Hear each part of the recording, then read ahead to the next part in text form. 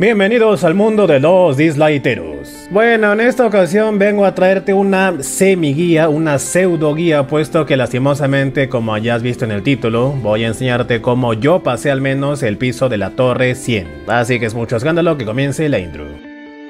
Bueno, como dije, si quieres que tenga una intro decente, pues coméntame y por supuesto like. Bueno, entonces empecemos por acá. Si te das cuenta, yo ya estoy en este piso, bueno, no piso, sino en este tipo de torre que se llama torre temporal, puesto que es la siguiente fase de la torre espacial. Y sí, una vez que pasas la torre espacial, sigue esta torre temporal. Si le das acá, pues tienes esta información. Esta torre solamente tiene 50 pisos, que se asemeja, me hace recordar pues a las torres de Summoner, puesto que esta torre es mensual y por supuesto cambia cada vez. Por lo que veo esta cosa reinicia cada inicio del mes, así que voy a tenerlo en cuenta. Bueno, entonces el problema como te estaba diciendo es que no puede hacerte una guía en este momento, puesto que como te das cuenta ya no hay forma de volver a pasar ese piso o volver a estar en ese formato de la torre espacial. Ojalá algún día pongan ese formato para volver a repasar cómo pasamos algunos pisos. Pero bueno, vamos a darle por aquí. En este caso, la mejor cosa que se me ocurre por hacer es revisar mi mejor récord, puesto que ahí está la información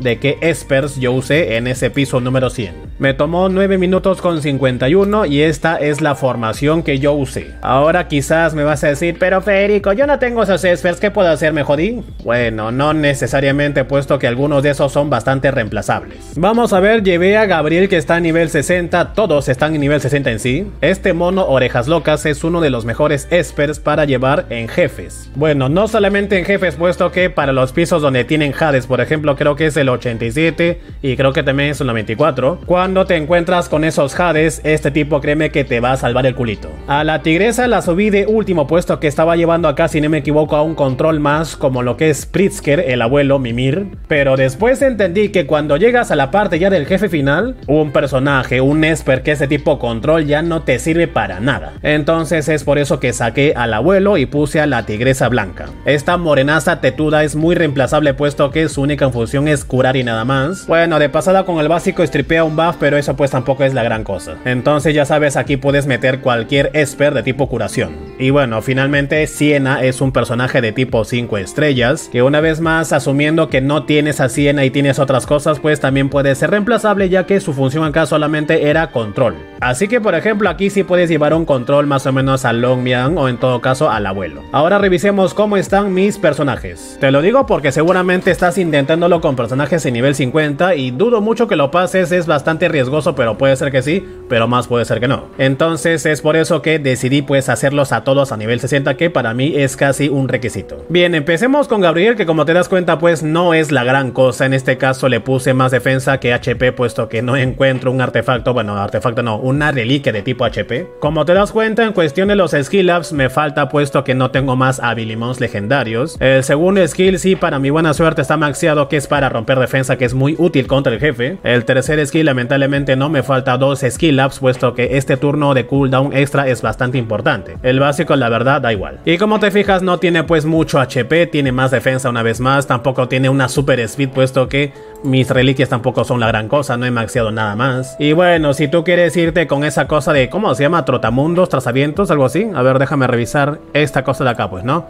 Ah, trazavientos. Si quieres colocarle esa reliquia, bueno, pues está bien. Al menos a mí me funcionó darle esta cosa, creo que se llama algo de Zeus. Ah, sí, tiranía de Zeus. Puesto que como tiene 12 skills que pegan de tipo global en forma AOE, pues dije, ¿por qué no? Hay que meterle esta reliquia que estunea a todos con un chance. Entonces, sí, ya sabes, en las torres es muy bueno el control. Pero repito, si no tienes esta cosa, tranquilamente ponle esa cosa que te da speed para que tengas, pues, por ejemplo, más 100. Y sí, hablando del speed, yo creo que en las torres, eh, de forma general, ya más o menos en pisos avanzados los últimos pisos, quizás deberías estar como recomendación con más 80 de speed en todos tus espers. No creo que sea obligatorio a menos que tengas a un personaje que también aumente lo que es los puntos de acción. Pero sí, quizás todos deben estar por encima de 80 de speed. O ya, bueno, quizás siendo un poquito más buenos, más 70 de speed. Ahora revisamos a la gata esta llamada Lin Xiao, la tigresa blanca. Y como te das cuenta, ni siquiera me hizo falta llevar un set completo. En este caso estoy usando el concepto de set roto. ¿A qué me refiero con eso? Como te das cuenta, pues no cumple con ningún set ya que todo es diferente, solamente estoy buscando los substats. Ya después, con el tiempo, completaré su set dándole, por ejemplo, esta cosa de acá,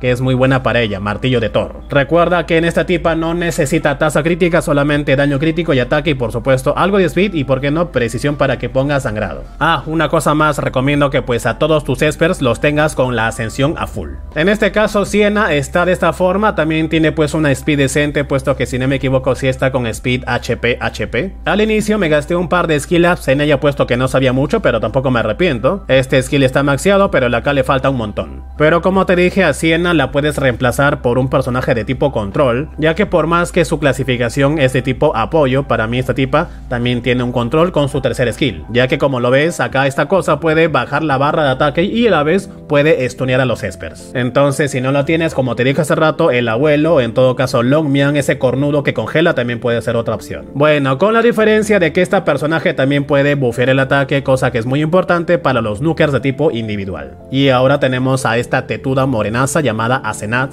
Y como la ves, tampoco es la gran cosa en cuestión de substats. Estoy recién empezando, pero más o menos tengo el conocimiento. Ah, y me estaba olvidando, esta tipa, su cura es en función a su ataque, entonces pues también debes darle algo de ataque. Pero recuerda, de forma ideal, todos los espers con la ascensión a full. Y finalmente tenemos al mono orejas locas llamado Tanjun. Este tipo de acá, como te dije hace rato, es muy bueno para pegar a los jefes en cada piso, por ejemplo 80, 90, 100 y así. O en todo caso, en los pisos donde está este desgraciado que ya sabes que no se le puede controlar, no se le puede romper ataque ni nada, entonces tienes que matarlo con puro golpe nada más. Si revisas los skills, el único debuff que pone esta cosa es solamente estunear, así que pues no es tan bueno que lo metas en Hades. Pero como te fijas, tanto el segundo skill como el tercer skill hacen daño de forma individual y es muy bueno puesto que pega varias veces. Ah, y bueno, y sin contar con el chance ese de que pueda hacer procs con su básico. Ah, y obviamente pues es recomendado que esté a full skill ups ya que este tipo se puede maxear fácilmente buscando su dimensión. Y como lo ves acá tampoco pues tiene la gran cosa puesto que a pesar de que le puse tasa crítica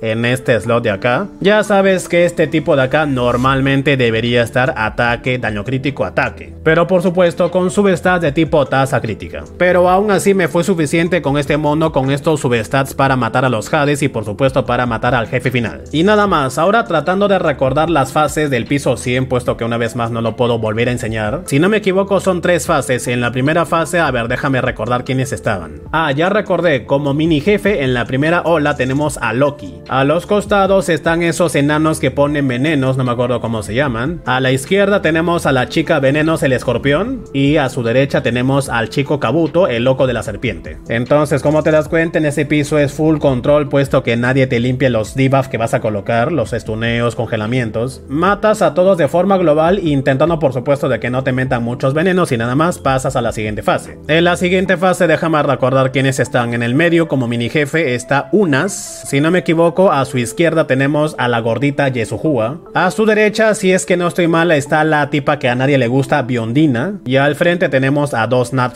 uno si no me equivoco es Lucas y a su derecha tenemos a Tille. Entonces en ese piso sí hay que tener un poquito más de cuidado, puesto que si no me equivoco Unas con su pasiva creo pone lo que es inmunidad. Así es, aquí está. Entonces es recomendado que mates a él primero o en todo caso podrías matar a los que te stunean o te controlan, puesto que ya sabes Tille es un personaje de tipo control, te puede joder, Lucas te puede stripear y finalmente Biondina también te puede pegar fuerte ya que también rompe defensa. Y seguramente vas a dejar a la gordita hasta el final. Y ya ahora sí, en la parte final tenemos solamente tres monstruos, el jefe gordote y a unas dos abandijas que parecen unos aliens blancos. El proceso es simple en sí, ni siquiera te enfoques en los enanos blancos, todo contra el jefe. En mi caso con Siena yo empezaba bufeando lo que es el ataque, luego idealmente Gabriel debería moverse para romper defensa con su segundo skill y obviamente debes empezar a pegar como loco con los nukers de tipo individual, que en mi caso era el mono de orejas locas y por supuesto la gata blanca. Hasta esa parte simple puesto que no hay gran amenaza, te van a pegar de forma individual, también te pueden romper defensa, pero si estás bien equipado no te van a hacer mucho daño. La parte que sí debes tener cuidado es cuando el jefe hace su técnica especial y gira un montón de veces, que lo más peligroso en sí de esa parte es cuando empieza a bajarte la barra de ataque, pero después empieza una especie como si fuese un conteo regresivo, ya que con un skill que parece como si fuese un ojo que te está vigilando, cuando la barra de ese ojo se acabe su vigilancia, el jefe este te va a pegar a todos una vez más, pero te va a eliminar automáticamente automáticamente a un Esper de forma aleatoria. Entonces quizás en ese momento deberás rezar a que no te mate a uno de tus nukers puesto que si no quizás te vas a demorar bastante. En mi caso, para mi buena suerte, empezó matándome a todos mis supports y me dejó al mono junto con la tigresa. Y el proceso va a ser igual una vez más, va a cargar ese ojo otra vez, te va a bajar la barra de ataque, cuando la barra del ojo se llegue a cero, te va a pegar a todos una vez más y te va a deletear a otro Esper de forma azarosa. Pero para ese momento ya seguramente habrás tenido que bajarle la vida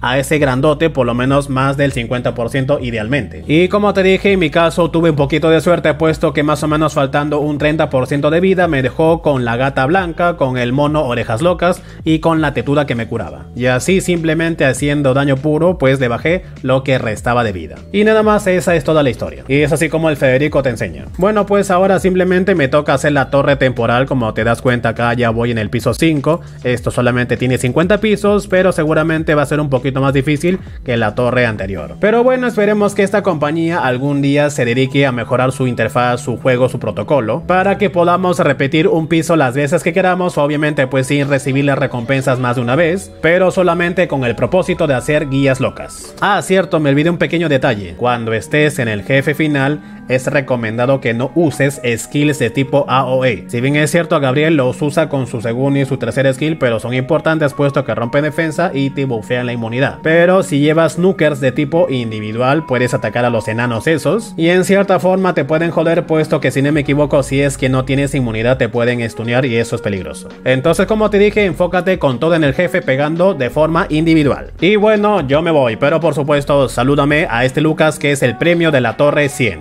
¿Y si no? Pues váyanse al carajo, yo me voy.